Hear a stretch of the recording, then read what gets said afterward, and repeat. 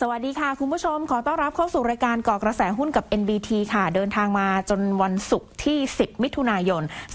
2565 นะคะ 5 วันที่ผ่านมาเราเห็นตลาดหุ้นไทยไม่ค่อยจะเคลื่อนไหวไปได้ไกลค่ะ มีแค่เมื่อวานนี้ที่หุ้นในกลุ่มธนาคารพาณิชย์ ปรับตัวเพิ่มขึ้นได้เป็นอย่างดี ตามคาดหวังเกี่ยวกับเศรษฐกิจภายในประเทศของเรานะคะ ที่มีโอกาสในการฟื้นตัวรวมถึงเทรนด์ดอกเบี้ยขาขึ้นกันด้วย เพราะว่าในช่วงวันพุธที่ผ่านมา เราได้รับทราบข่าวกันไปเรียบร้อยเกี่ยวกับการประชุมธนาคารกลางแห่งประเทศไทย หรือว่าแบงก์ชาติของเราเนี่ยแหละค่ะ ที่มีเสียงแตกออกมา 3 เสียงนะคะว่า น่าจะขึ้นดอกเบี้ยได้แล้ว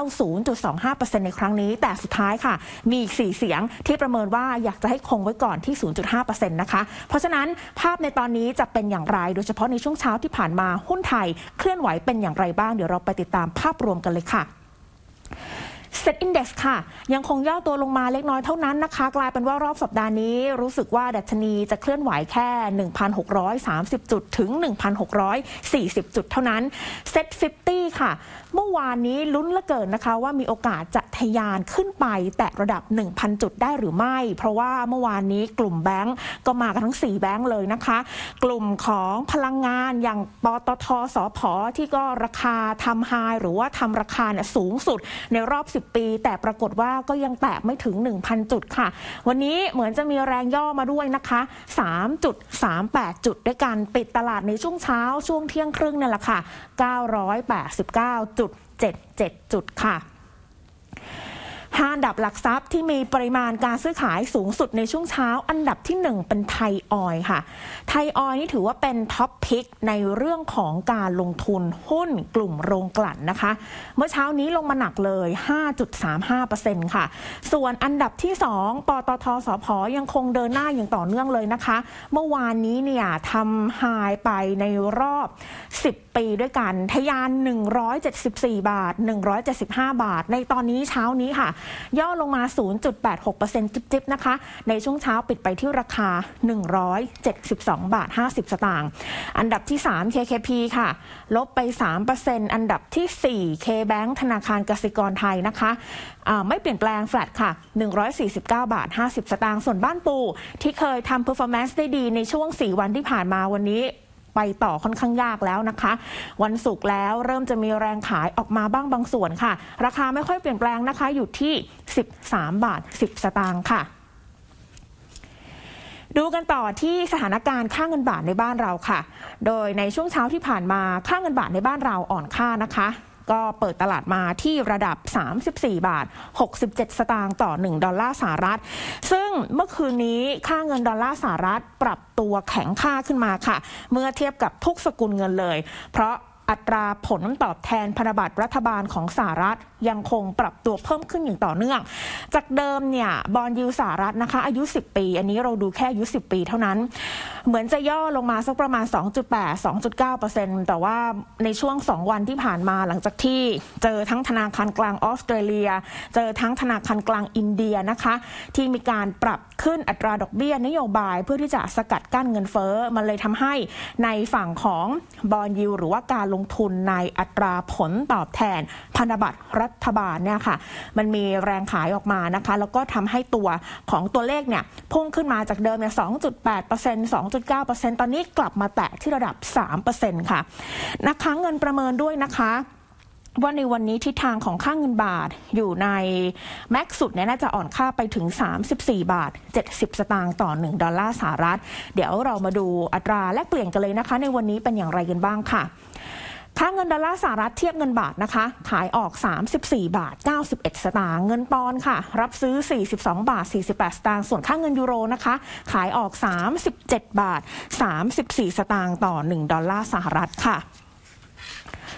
พอเจอสถานการณ์ของค่าเงินดอลลาร์สหรัฐนะคะ ที่เป็นการแข็งค่าแบบนี้ไม่ค่อยจะส่งผลดีเท่าไหร่กับการลงทุนในทองคำโลกค่ะ เพราะว่าทองคำโลกเองเขามี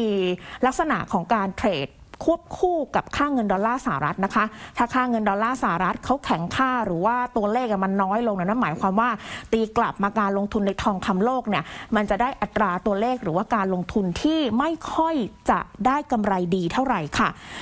เมื่อคืนนี้สำหรับราคาทองคำโลกนะคะ ปรับลดลง เพราะว่าดอลลาร์สหรัฐแข็งค่าขึ้น ธนาคารกลางยุโรปหรือว่า ECB ยังไม่ได้ปรับขึ้นอัตราดอกเบี้ยในรอบนี้ค่ะ แต่ส่งสัญญาณว่าน่าจะปรับขึ้นดอกเบี้ย ในการประชุมครั้งต่อไปอีก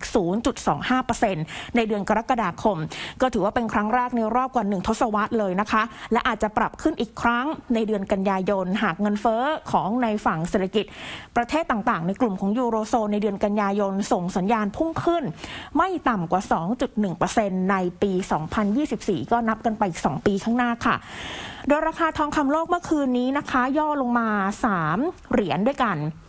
ปิดที่ 1,852.8 เหรียญสหรัฐต่อทรยออสค่ะ พอเจอค่างเงินบาทที่มีลักษณะของการอ่อนค่าแบบนี้เล็กน้อยนะคะ มาดูการรายงานทองคำแท่งจากสมาคมค้าทองคำแห่งประเทศไทยกันเลยค่ะ ทองคำแท่งรวมถึงทองรูปพรรณไม่ค่อยเปลี่ยนแปลงเลยค่ะ เพราะว่าราคาทองคำเอง โดยเฉพาะราคาทองคำโลกอะนะคะ 1,850 เหรียญต่อทรยอสไม่ค่อยกระดิกเท่าไหร่ พอได้ค่าเงินบาทอ่อนค่าก็ดูเหมือนจะไม่ได้ช่วยอะไรมากนักนะคะ ทองคำแท่งขายออก 3,250 บาทต่อบาททองคำทองรูปพรรณค่ะ ขายออก 3,750 บาทต่อบาททองคำค่ะ แม้ว่าในช่วงปลายสัปดาห์จะเห็นสถานการณ์ของราคาน้ำมันโลก เริ่มที่จะย่อตัวลงมาแล้วนะคะ เดี๋ยวไปดูเหตุผลกันว่าเอ๊ะทำไม ในช่วงที่ผ่านมาปรับตัวเพิ่มขึ้นมาอย่างร้อนแรงมากๆ พอมาในช่วงปลายสัปดาห์แบบนี้ ถึงเป็นภาพของการย่อตัวแต่ลักษณะทางกราฟเทคนิคเอง ยังไม่ได้เสียทรงไปนะคะ แค่เป็นการย่อตัวลงมาเล็กน้อยเท่านั้น เรื่องแรกค่ะ ที่เซี่ยงไฮ้ประเทศจีนนะคะ เริ่มล็อกดาวน์รอบใหม่ในบางพื้นที่ เพื่อสกัดการแพร่ระบาดของโควิด -19 ประชาชนในเขตหมินหังค่ะ ถูกสั่งให้อยู่แต่ในที่พักอาศัยเป็นเวลา 2 วันด้วยกัน เพื่อควบคุมความเสี่ยงของการแพร่ระบาดนะคะทำให้เมื่อคืนนี้ราคาน้ำมันดิบเวสเท็กซัสนะคะ แล้วก็รวมไปถึงราคาน้ำมันดิบเบรนท์เอง ค่อนข้างที่จะยืนอยู่ได้ค่ะ 120 เหรียญสหรัฐต่อบาร์เรล เดี๋ยวเราไปอัปเดตตัวเลขของราคาน้ำมันโลกกันเลยค่ะ crude oil เวสเท็กซัสย่อลงมาเล็กน้อยนะคะ 0.35%เท่านั้นเอง รวมถึงเบรนท์ออยย่อลงมาเพียง 0.44%ค่ะ สถานการณ์คริปโตเคอเรนซีนะคะนี่เราเดินทางมาในสัปดาห์ที่ 2 ของเดือนมิถุนายนแล้ว เดี๋ยวไปดูกราฟกันเลยนะคะสำหรับ Bitcoin หรือว่า BTC คำถามนักลงทุนในช่วงนี้มักจะถามเขาว่าเอ๊ะทำไมในช่วงนี้ Bitcoin ไม่ไปไหนเลย จริงๆคำว่าไม่ไปไหนเลย มันกินระยะเวลามาเป็น 1 เดือนหรือว่า 30 วันแล้วนะคะะเดี๋ยวไปดูกราฟทางเทคนิคของ Bitcoin กันเลยค่ะ นี่เป็นกราฟให้ดูนะคะตั้งเป็นราย 1 day ค่ะ ก็คือ 1 แท่งเทียนแทนความเคลื่อนไหวของกราฟบิตคอยใน 1 วันนะคะเดิมตั้งแต่ในช่วงต้นเดือนพฤษภาคม นับเพียงแค่สัปดาห์แรกเท่านั้นค่ะ ก่อนที่จะประชุมเฟดนะคะ การลงทุนในบิตคอยยังคงยืนอยู่ได้ 40,000 ดอลลาร์สหรัฐ แต่พอมีทั้งการประชุมเฟดออกมาเดินหน้าในการปรับขึ้นดอกเบี้ย มีภาพของตัวเลขเงินเฟอ้อที่ยังคงพุ่งสูงขึ้นอย่างต่อเนื่องแบบนี้ นักลงทุนไม่ค่อยจะนำเงินที่มีอยู่ในพอร์ตไปลงทุนกับสินทรัพย์เสี่ยงมาก ๆ อย่างคริปโตเคอเรนซีค่ะ ยิ่งในเดือนนี้นะคะ เดือนมิถุนายนใช้มาตรการของเฟดก็คือ quantitative tightening หรือว่า QT เป็นมาตรการที่ดูดสภาพคล่องออกมาในระบบค่ะ มันทำให้เงินที่จะลงทุนในระบบเนี่ยมันมีน้อยลง พอมีน้อยลงแบบนี้การจับจ่ายใช้สอยในแต่ละวันก็ต้องคิดแล้วคิดอีกนะคะ ยิ่งไปดูไปถึงเกี่ยวกับการลงทุน ก่อนจะนำเงินลงทุนก็ต้องคิดแล้วคิดอีกด้วยเช่นเดียวกัน ยิ่งเป็นคริปโตเคอเรนซีที่เป็นสินทรัพย์เสี่ยงมากๆแบบนี้ ยิ่งไม่ค่อยจะมีแรงซื้อกลับเข้ามา คุณผู้ชมดูกราฟข้างล่างขยับสายตามาข้างล่างอะนะคะ ปริมาณการซื้อขายตั้งแต่ในช่วง พฤษภาคมจนปัจจุบันนี้แทบจะไม่มีเลยค่ะ มันทำให้ไม่ต้องแปลกใจนะที่ในช่วงนี้เราเห็นบิตคอยทำกำไรยากมาก ๆ เลย เพราะว่ากว่าจะงัดตัวเองขึ้นมาให้อยู่ระดับ 30,000 ดอลลาร์สหรัฐนี่ถือว่ายากมาก ๆ แล้วนะคะ พอแตะขึ้นมาได้เนี่ยก็ออกข้างลักษณะกราฟเทคนิคคำศัพท์ ทางเทคนิคหมายความว่ากราฟแบบนี้คือไม่ได้ไปไหนเลยค่ะ ออกข้างออกข้างแล้วก็ทำให้ส่วนต่างหรือว่าแกลบในการทำกำไรมันน้อยลงทุกที แล้วก็เห็นจากปริมาณการซื้อขายก็ไม่ค่อยจะกลับเข้ามาซื้อในบิตคอยนะคะ ก็เลยเห็นเป็นลักษณะให้คุณผู้ชมได้ดูตั้งแต่การไม่ค่อยเปลี่ยนแปลงเท่าไหร่ของราคาบิตคอยค่ะ ตั้งแต่กลางเดือนพฤษภาคม จนถึงปัจจุบันนี่แหละค่ะจะกลางเดือนมิถุนายนแล้วยังอยู่ที่ระดับเดิมเลย 30,000 ดอลลาร์สหรัฐค่ะ มื่อช่วงเช้านะคะ ประเทศจีนประกาศตัวเลขที่สำคัญนั่นก็คือตัวเลข CPI ค่ะ ประจำเดือนพฤษภาคม ถือว่าขยายตัวมา 2.1%เป็นตัวเลขที่ขยายตัวต่ำกว่าคาดการนะคะ โดยดัชนีราคาผู้บริโภคหรือ CPI เป็นตัวเลขที่วัดเงินเฟ้อจากการใช้จ่ายของผู้บริโภค ปรับตัวเพิ่มขึ้น 2.1%ในช่วงเดือนพฤษภาคม เทียบกับเดือนพฤษภาคมของปี 2021 หรือว่าปีที่แล้วค่ะ ก็ถือว่าต่ำกว่าที่นักวิเคราะห์ประเมินกันเอาไว้นะคะ ว่าน่าจะโตได้ 2.2%ทีนี้ นอกจาก CPI แล้วยังมีตัวเลข PPI PPI เป็นตัวเลขที่วัดต้นทุนสินค้าหน้าประตูโรงงานในเดือนพฤษภาคม ถือว่าเพิ่มขึ้นมาค่ะ 6.4%เห็นตัวเลขแบบนี้ไม่ได้เพิ่มขึ้นดีนะคะ มันถือว่าเป็นตัวเลขที่มันลดลงจากเดือนเมษายนที่ขยายตัว 8%ส่วนหนึ่งนั้นยังคงเป็นมาตรการล็อกดาวน์ค่ะ ด้วยจีนก็มีความคาดหวังสูงนะคะ ว่าจะใช้มาตรการซีโร่โควิดหรือว่าจะไม่ให้มีสถานการณ์โควิดอยู่ในประเทศเขาได้ค่ะ แต่สุดท้ายแล้วก็รู้สึกว่าจะยากลำบากหน่อยนะคะ มันเลยเป็นตัวสะท้อนให้ตัวเลขทั้ง CPI และ PPI ประกาศออกมาต่ำกว่าที่ตลาดคาดการเอาไว้ โดย PPI ค่ะ ประจำเดือนพฤษภาคมที่เป็นมาตรวัดต้นทุนสินค้านะคะ ขยายตัวอัตราต่ำสุดในรอบ 14 เดือน ดีมานความต้องการโลหะอลูมิเนียม และสินค้าอุตสาหกรรมประเภทอื่น ๆ ชะลอตัวลง เพราะว่าจีนใช้มาตรการล็อกดาวน์ ซึ่งจีนเองได้สั่งล็อกดาวน์นครเซี่ยงไฮ้เป็นเวลานานถึง 2 เดือนค่ะ ก่อนที่จะประกาศยุติ การใช้มาตรการดังกล่าวเมื่อวันที่ 1 มิถุนายนที่ผ่านมานี่เอง แต่ล่าสุดนะคะ เทศบาลนครเซี่ยงไฮ้สั่งปูพรมตรวจเชื้อโควิด -19 ครั้งใหญ่ครั้งในช่วงวันเสาร์อาทิตย์นี้ค่ะ เพราะพบการติดเชื้อในชุมชน โดยมาตรการรอบใหม่นี้ก็สร้างความวิตกกังวลนะคะ ว่าอาจจะส่งผลกระทบอีกแล้ว เกี่ยวกับภาคธุรกิจ และเศรษฐกิจโดยรวมค่ะ ส่วนมุมของโกลแมนแซกก็ได้ปรับลดคาดการณ์การขยายตัวเศรษฐกิจของประเทศจีนด้วยนะคะ ในปีนี้เนี่ยลงมาอยู่ที่ 4%จากเดิมมองว่าพอจะโตได้ละ 4.5%แต่มาเจอสถานการณ์โควิด -19 ที่มันไม่นิ่งแบบนี้เลยทำให้ต้องปรับลดคาดการณ์การเติบโตเศรษฐกิจของจีนไปค่ะ ซึ่งรัฐบาลจีนก็ประเมินนะคะว่าในปีนี้เนี่ยน่าจะโตได้แหละ 5.5%แต่พอมาเจอโควิด -19 และเจอการประเมินของโกลแมนแซกนะคะที่ที่เป็นในมุมของนักเศรษฐศาสตร์ระดับโลก ก็เลยมองว่าการปรับตัวเพิ่มขึ้นเศรษฐกิจของจีนมันน่าจะไปถึง 5.5%ได้ยากนะคะ ก็เลยเป็นตัวเลขที่บ่งบอกค่ะว่าเศรษฐกิจในตอนนี้ของประเทศจีนชะลอตัวลงมาอย่างหนัก เพราะว่าก็ใช้มาตรการล็อกดาวน์นะคะ ส่งผลกระทบต่อภาคธุรกิจ เดี๋ยวเราไปดูการลงทุนในตลาดหุ้นจีน ในดัชนีเซี่ยงไฮ้ Composite กันก่อนเลยนะคะ ก็เป็นกราฟ อันนี้ให้ดูเป็นรายหนึ่งชั่วโมงก่อนเลยค่ะ ถ้าเทียบกันใน timeframe แบบเล็กๆกันนะคะหนึ่งแท่งเทียนแทนความเคลื่อนไหวของกราฟตลาดหุ้นจีนใน 1 ชั่วโมง รู้สึกว่าจะมีแรงขับเคลื่อนออกมาได้ดีมากๆเลยค่ะ กราฟราย 1 ชั่วโมงนะคะ จะสังเกตเลยว่านักลงทุนนะมีความเชื่อมั่นกับมาตรการในการผ่อนคลาย มาตรการล็อกดาวน์ของจีน ก็ทยอยซื้อเก็บกันมาตั้งแต่ระดับดัชนี 3,000 จนตอนนี้ดัชนีปรับตัวสูงขึ้นมาถึง 3,275 นะคะ อันนี้แค่เป็นทำเฟรมในระยะสั้น เดี๋ยวไปดูทำเฟรมในระยะตั้งแต่ต้นปียันปัจจุบันในกราฟรูปถัดไปเลยค่ะ นี่ตั้งแต่เปิดปีใหม่มานะคะ 2022 ค่ะ การลงทุนตลาดหุ้นจีน ดัชนี 3,600 จุดนะคะ ช่วงนั้นเป็นช่วงที่จีนกำลังเป็นภาพเศรษฐกิจฟื้นตัวมาได้ดีนะคะ เพราะว่าเป็นประเทศที่เจอโควิด -19 ประเทศแรก แต่เขาก็ใช้ระยะเวลาในการแก้ไขได้ดี กลับมาเป็นปกติแทบจะปกติ 100%ได้ดีเช่นเดียวกัน การที่เห็นหุ้นจีน เฟอ้อขึ้นมานะคะระดับ 3,600 จุด แต่พอเจอกลับมาล็อกดาวน์อีกก็ตามสภาพเลยค่ะ จากกราฟเองก็ค่อยๆ หล่นลงมาจาก 3,006 ลงมา 3,004 ต่ำสุดของปีตั้งแต่เปิดปีใหม่มานี่คือหลุดไปถึงประมาณ 2,800 จุดนะคะ นี่ก็ให้ดูในช่วงเดือนพฤษภาคมที่ก็มีข่าวออกมาค่ะว่า ถ้ามีการผ่อนคลายมาตรการล็อกดาวน์แล้วก็น่าจะทำให้เศรษฐกิจกลับคืนมาได้ ก็เลยมีแรงซื้อกลับเข้ามาตั้งแต่ต้นเดือนพฤษภาคม จนปัจจุบันค่ะ ระดับนี้นะคะ ล่าสุด 3,284 จุดด้วยกันสำหรับการลงทุนในตลาดหุ้นจีนค่ะ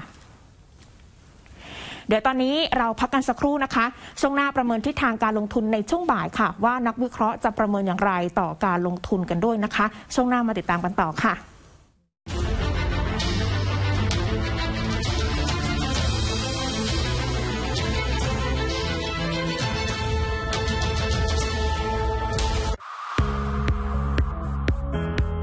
พื่อเป็นการอำนวยความสะดวกในการเดินทางให้กับนักธุรกิจในกลุ่มเอเปกสมาชิก 19 เขตเศรษฐกิจ ยกเว้นสหรัฐอเมริกาและแคนาดา จึงได้ร่วมกันออกบัตรเดินทางสำหรับนักธุรกิจเอเปกหรือ ABTC ใช้ควบคู่กับพาสปอร์ตเพื่อเดินทางเข้าดินแดนสมาชิกของเอเปกที่ร่วมโครงการ ในการติดต่อธุรกิจระยะสั้น โดยไม่ต้องขอวีซ่า ช่วยประหยัดเวลาและค่าใช้จ่ายในส่วนที่เกี่ยวข้องกับการขอวีซ่า และขั้นตอนการเข้าเมือง โดยบัตร ABTC จะมีอายุการใช้งาน 5 ปี ซึ่งในช่วงการแพร่ระบาดของโควิด -19 ประเทศไทยได้อนุญาตให้ผู้ถือบัตร ABTC จากสมาชิกเอเปกจำนวนหลายแสนคน เดินทางเข้ามาติดต่อธุรกิจในไทยได้ เป็นอีกส่วนสำคัญที่ช่วยขับเคลื่อนเศรษฐกิจไทยไม่ให้หยุดชะงัก อเปกไม่ใช่เวทีเจรจาการค้า แต่เป็นเวทีสำหรับการปรึกษาหารือและแลกเปลี่ยนข้อคิดเห็น เกี่ยวกับประเด็นทางเศรษฐกิจต่างๆ ที่ประเทศสมาชิกสนใจ เอเปกจึงมีการประชุมที่มีภาคเอกชนเข้ามาร่วมด้วย แต่เดิมเรียกว่า APEC Business Forum จัดขึ้นครั้งแรกในปี 2539 โดยมีผู้นำทางธุรกิจในภูมิภาคเอเชียแปซิฟิกเข้าร่วมกว่า 450 คน เป็นเวทีสะท้อนความคิดเห็นและให้ข้อเสนอแนะของภาคเอกชนต่อเอเปกได้เป็นอย่างดี จนกลายเป็นรูปแบบสำคัญในการสื่อสารระหว่างรัฐบาลกับกลุ่มธุรกิจในภูมิภาค และในปี 2540 จึงเปลี่ยนมาใช้ชื่อ APEC CEO Summit อย่างเป็นทางการ ณนครแวนคูเวอร์ ประเทศแคนาดา และต่อมาได้พัฒนาขึ้นเป็นการประชุมสุดยอดผู้นำภาคเอกชน ของภูมิภาคเอเชียแปซิฟิก โดยจัดขึ้นก่อนการประชุมสุดยอดผู้นำเอเปกประจำปี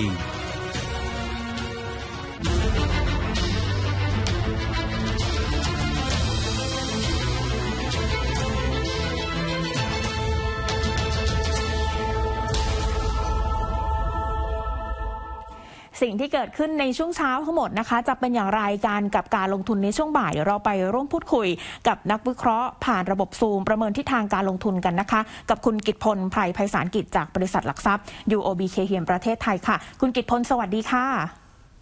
สวัสดีครับเมื่อวานนี้กลุ่มแบงก์มากันหมดเลยนะคะ แต่ว่าวันนี้ดูเหมือนจะพักตัวลงไป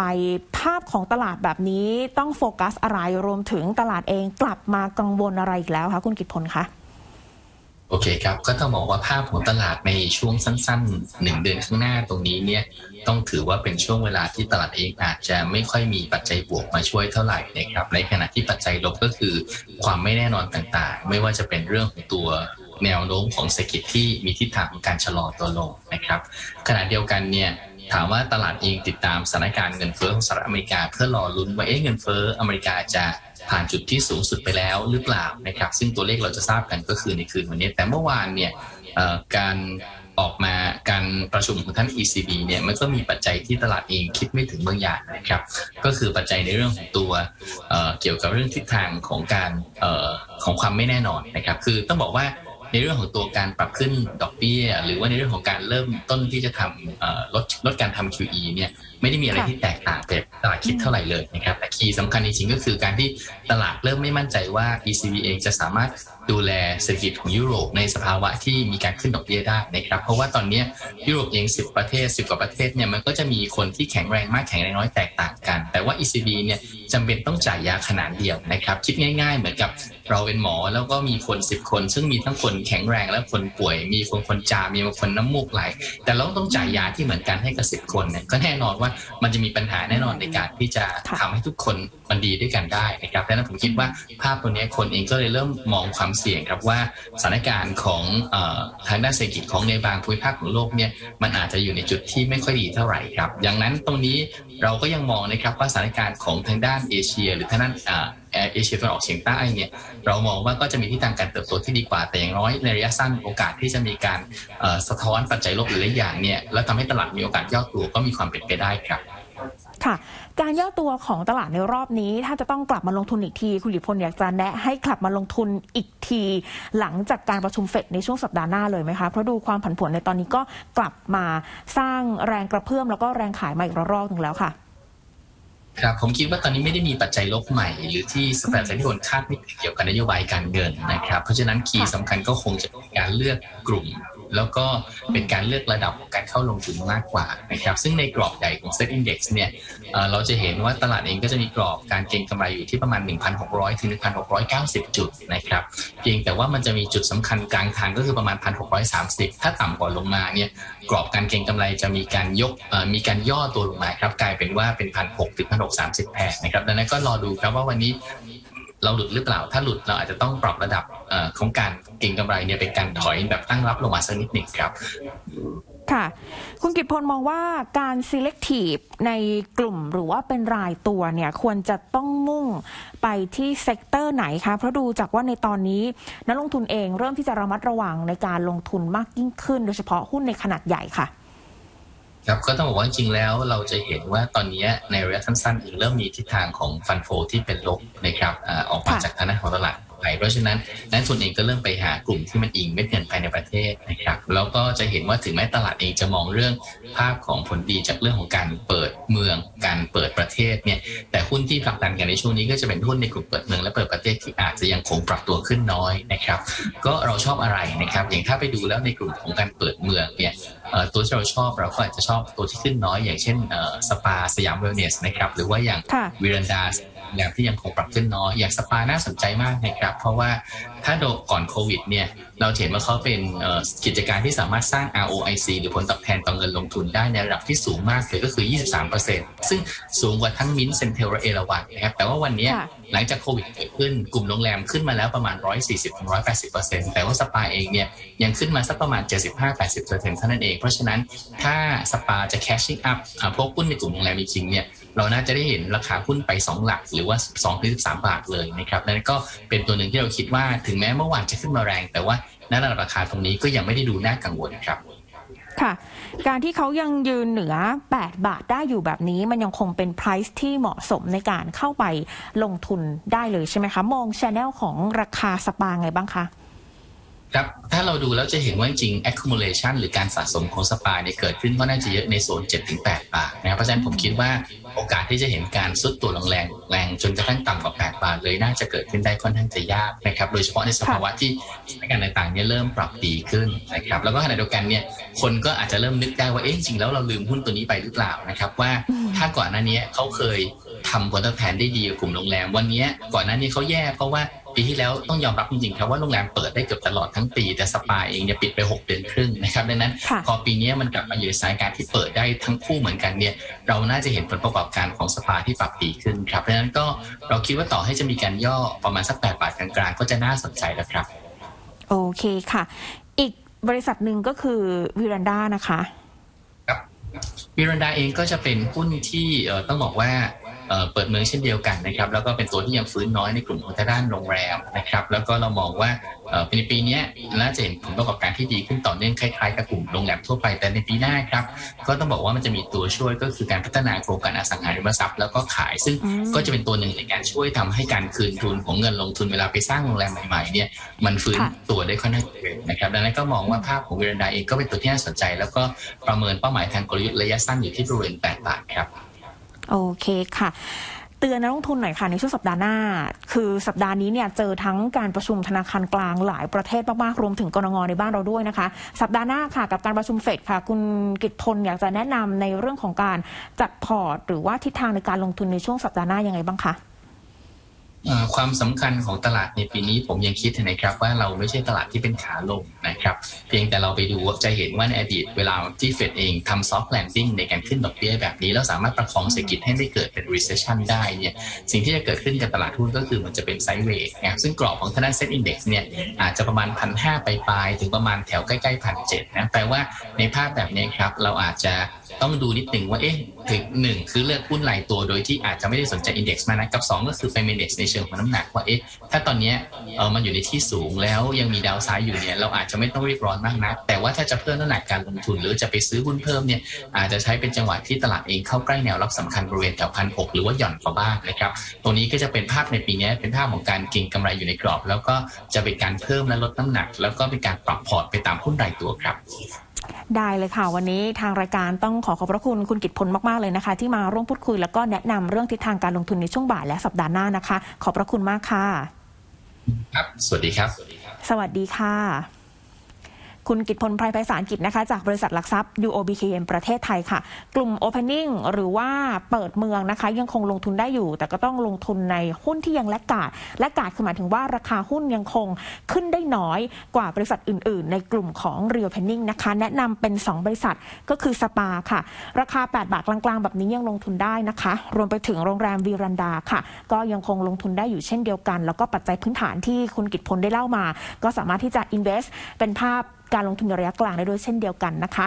ในตลอดสัปดาห์นี้ที่ผ่านมาทิปวางแผนทางการเงินเราพูดคุยกันในเชิงของการซื้อบ้านค่ะ แล้วก็การกู้บ้านนะคะ เอกสารต่างๆ ที่ต้องไปในภาคของธนาคารพาณิชย์ แต่ในวันนี้ขอปิดท้ายเกี่ยวกับ topic นี้ก็คือ แล้วทำเลที่ไหนที่สามารถลงทุนได้ แล้วมีทิศทางของราคาที่ดิน พื้นดินนี่แหละค่ะ ที่มันปรับเพิ่มสูงขึ้นในรอบหนึ่งปีนะคะ อันดับที่ห้าค่ะ เป็นรถไฟฟ้าสายสีเขียวนะคะ อย่าบอกว่าโอ้ยเป็นในเชิงของชานเมืองต่างจังหวัดแต่ติดท็อปฟาสนะคะ สมุทรปราการบางปูและแบริ่งสมุทรปราการค่ะ อัตราการขยายตัวของราคาที่ดินนะคะ เพิ่มขึ้นมา 5.8% year on year คือ เพิ่มขึ้นมาถึง 5.8%เทียบกับช่วงเดียวกันของปีก่อนก็คือ ปีช่วง 2021 ที่ผ่านมา อันดับที่ 4 ค่ะ สายสีน้ำเงิน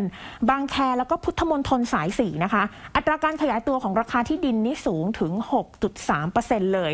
อันดับที่ 3 สายสีม่วงค่ะ บางใหญ่เตาปูนยิ่งเตาปูนนะคะ เป็นจุดเปลี่ยนสถานไปยังสายสีม่วงด้วยนะคะ แล้วก็เป็นาสายสีน้ำเงินด้วย เป็นจุดเปลี่ยนตรงนั้นเลย ก็ทำเลดีมากค่ะ 6.7%อันดับที่ 2 ค่ะ สายสีชมพู แครายมีนบุรี ถ้าจะบอกว่ามีนบุรีนี่ไกลมาก ๆ แต่ไม่น่าเชื่อนะคะว่า ราคาของที่ดิน อัตราขยายตัวของราคาที่ดินนี่สูงถึง 8.2%และอันดับที่ 1 อย่ามองข้ามโซนตลิ่งชันสารยานครปฐมค่ะ สายสีแดงอ่อนเนี่ยแหละค่ะ จะเป็นตัวพีคเลยทำเลที่ดินทองเลยนะคะ 8.5%เทียบ year on year ที่อัตราการขยายตัวของราคาที่ดินปรับ ตัวเพิ่มสูงขึ้นค่ะ นี่ก็เป็น